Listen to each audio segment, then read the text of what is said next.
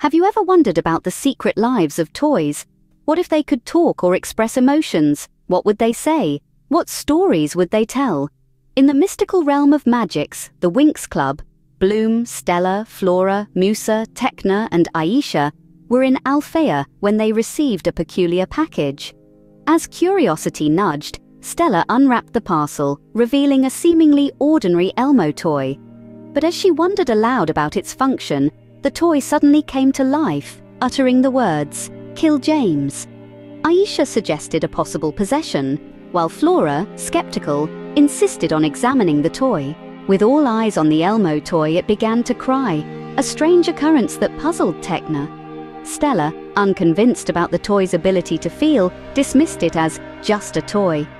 As the toy continued its incessant sobbing, Stella's patience wore thin.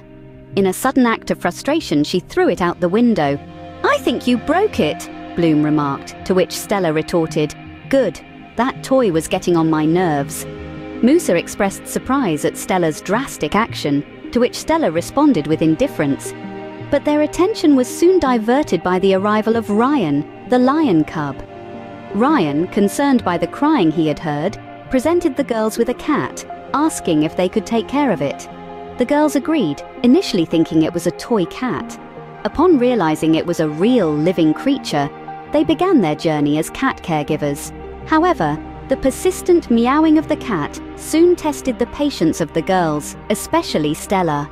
In a moment of frustration, she suggested throwing the cat out the window, much like the Elmo toy. But the resilient cat fought back, retaliating against Stella's harsh treatment. Ryan, witnessing the situation, intervened, reminding Stella of the importance of treating animals with kindness. The group echoed his sentiments, expressing disapproval of Stella's actions. Stella, reflecting on her actions and the group's disapproval, pledged to do better, marking a moment of realization and growth. In this tale of peculiar toys and a resilient cat, the Winx Club learned valuable lessons about patience, empathy, and the importance of treating all creatures, whether toys or animals, with kindness and respect. As they navigated these unexpected events, they discovered that every interaction, no matter how small, holds the potential for learning and growth. And so, the story of the Elmo toy and the cat continues, a testament to the magic and mystery of everyday life in the realm of Magix.